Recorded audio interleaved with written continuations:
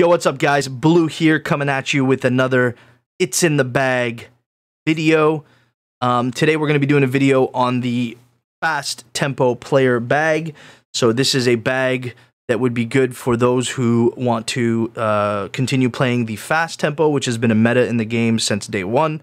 Um, if you're having trouble with tempo or hitting the perfects, even with while using the the perfect bag, um, then then I would suggest maybe trying out uh, consistently going for fast tempo um, and learning how to play the fast tempo. Obviously, the ball is going to react way differently. Uh, you'll have to learn um, the distances and stuff like that that that come with uh, hitting red fasts um, into very red fasts. They all they all make the ball act differently. Um, so there is a lot of learning to do. Uh, it is its own specialty. It is its own method. Um, and so it does take some practice if you're not already playing it. If you are already playing it, maybe consider this bag. If you don't like some of your gaps, if you don't like um, some of the clubs, the way they feel, the way they play, whatever it is, um, I would I would say consider this bag. So without further ado, let's get started on the bag. Um, the driver is going to be uh, the one and only uh, Bridgestone Tour B JGR, um, the most popular used driver in the game for sure, uh, especially amongst the competitive players. It is the driver with the longest carry at 295 yards uh, and the least amount of forgiveness. Therefore, you are more likely to hit a red fast every time you use this driver. Um, moving on from the driver, we have the three wood. The three wood, you have either one. This is preference. Um, I have the Mizuno ST200, which is a content update um, battle pass or whatever you want to call it, unlockable club, I believe. So if you do not have that uh, unlocked, then um, you could go to the Bridgestone, which does have three extra yards of carry. Uh, the Bridgestone Tour B JGR. Also, if you want to keep your three wood and your driver the same, I know that's how they do it. I use Mizuno. Uh, I use Mizuno clubs. Um, I have Nike irons, but I have Mizuno. I have Mizuno clubs uh, and Mizuno's uh, wedges in real life. So I, I, I just went with the Mizuno. Not much of a difference. Not a huge not a huge uh, stat increase or decrease either way. So it doesn't really matter.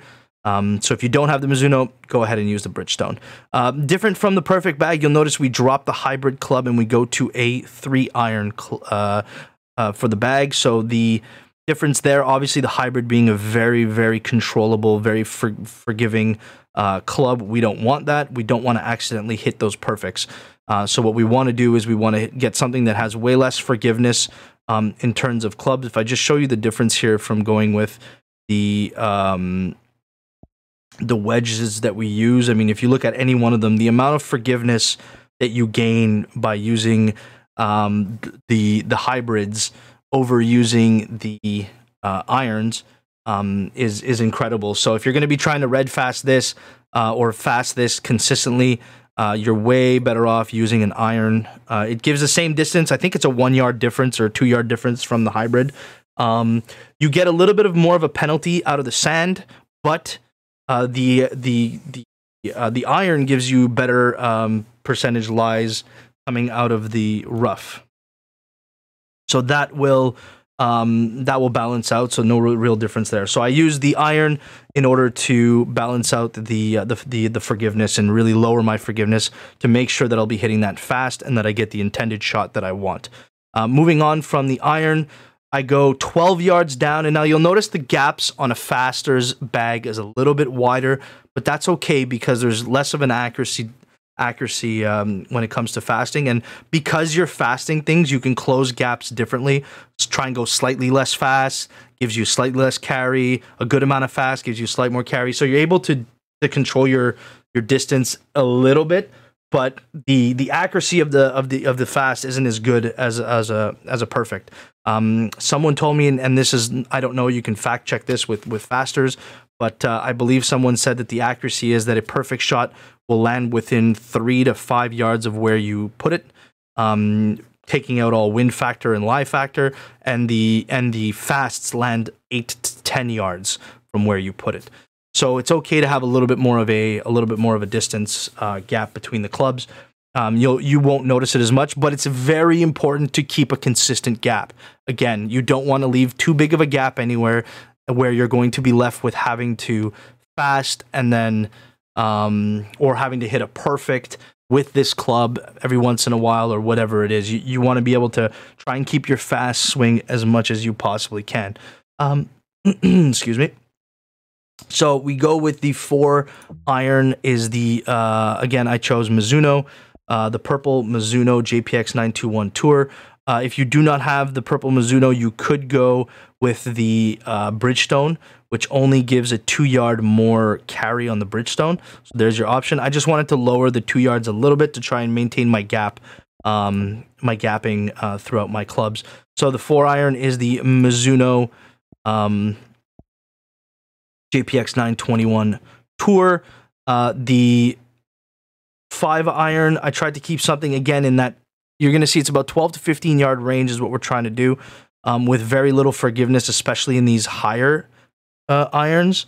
So your four, five, six, you don't want much forgiveness because those you really want to be, you know, slamming them in. You're not you're not going into the approach shots um, for the most part. So um, the the TaylorMade P790 gave me the best um, the best gapping there. So at 190 yards um, for the five iron. Then I went on to the uh, the six iron, I wanted to again maintain that 12 to 15 yard gap. The club that I found for that is going to be the Tour B JGR, the gold one. Again, this is an unlockable. Um, if you don't have this one unlocked, I believe you have to do this in career mode, if I'm not mistaken. Um, you can go to the P790, but it's going to make the gaps a little bit more wonky. Um, but you could go back to the TaylorMade P790. It's a little bit longer. It's going to increase the gap to your to your six iron, um, or to your seven iron. Sorry. Um, or you can go if you have the Mizuno's unlocked. You can do the Mizuno JPX 921 um, forged. I don't think there's. I don't think there's a a a regular version club. There there is not. I remember have checked this. So there's not there's no regular version club that'll do that for you. So you either got to go Mizuno JPX or you can go with the um, the TaylorMade P7 uh, 790. And moving on from that, we then go into your seven, eight, and nine irons. Seven, eight, and nine irons become approach um, clubs. Um, so you want to you do want to have a little bit more uh, of a forgiving club um, but not the most forgiving club because every once in a while, when it comes to an approach, depending on what kind of green you're going to be hitting into, you might have to try and go for the perfect. You might have to try and fade one in. You might have to do something other that doesn't allow you to do your fast necessarily. Wind might be against you too much. Whatever, whatever the case may be, whatever what may have you, um, so you do want something that gives you the option to both fast and or attempt a perfect, but not always get the perfect, um, but get close enough. So I, I uh, the seven and the eight iron, we go with the uh, TaylorMade SimMax, the gold ones. Again, another unlockable club. So a lot of the clubs I found for fasting seem to be clubs that are unlocked. I wonder if HB uh, and I wonder if HB knew that while they were making the game. Uh, they knew the meta was going to be fasting, so they made the best clubs for fasters only unlockable through uh, through career mode play. Um, if you don't want to use the TaylorMade, um, there's the uh, the uh, TaylorMade SimMax OS. The regular one is just as good. It's just a little bit shorter, so it'll it'll um, it'll uh, increase your gaps between your um, your 9 iron, but you can fix your 9 iron a little bit and maybe increase the gap here. You want to keep it from 12 to 15 yard gap. So uh, TaylorMade Sim Max, the gold one, or you can go to the gray one as a substitute if you don't have the, the these one these two unlocked. so that's seven and eight iron. Um, then the nine iron, you're going to uh, the Mizunos again, JPX 921 hot metals. I don't think the gray Mizunos are unlockable content. I'm not 100% sure on that. Um, but you can go with like either the Callaway or the or the Bridgestone or the Sim Max. These ones are pretty much interchangeable. Do any of the gray ones. Again, I like the Mizuno. I have a preference for Mizuno, um, so I go with the with the Mizuno Club, um, hitting 136. And then the wedges I don't change. I uh, I I, I still use the same Ben Hogan Equalizer um, equalizer wedges, the gray ones. Um, wedges are all forgiving anyway. There's nothing that's really, really super, super not forgiving. Even this, even the, the least forgiving wedge, which is a Bridgestone, has like more than half the bar full on on forgiveness. So you're more than likely going to uh, not very fast uh, these or have to swing a little bit faster to get the uh, the red fast that you're looking for if that's what you want. But I highly encourage you try and at least swing your wedges for perfects. Um, that'll give you a lot better result when going into a green when trying to dart uh, the ball right into a pin. Um, you'll be more accurate uh, hitting hitting for the uh, for the perfect in your wedges um, in your wedge game. So um, that's the bag. That's the Faster's bag. Um, I'm going to make another video um, for the next bag, which is going to be um, probably something along the lines of uh, problems with swing plane. Uh, I'll take a look at a bag that could help those who have really good tempo control, um, but tend to wiggle their thumb around, um, and their swing plane line is is doing the Mexican wave. Um, so again, guys, thank you. This is the Fast Club video. Let's just do a quick overview of all the distances. So driver to three wood um, to three iron doesn't really matter in here. Uh, you'll have to control distances at the top anyway. These are usually to get you into an approach shot either way. Um, and then from four iron down, you start getting into your either second shots on par fives or long par fours, which usually allow you to bank off of some sort of uh, some sort of um, slope onto the green. So you're going to run it up onto the green anyway for the long par fours, or you're going into a par five uh, with a with a shorter par five shot. Um, so you don't need as much accuracy up up in here, uh, and you don't need as much distance uh, gap. But you'll notice that from three iron to four iron, you have a 12 yard gap. From four iron to five iron, you have a 13 yard gap. From six iron, five iron to six iron, 12, six to seven, 15.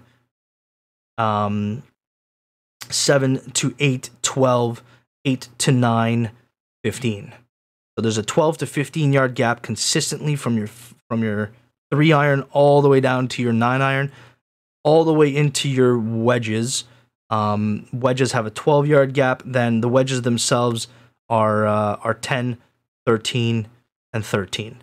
So you have a very consistent, even gap all the way through.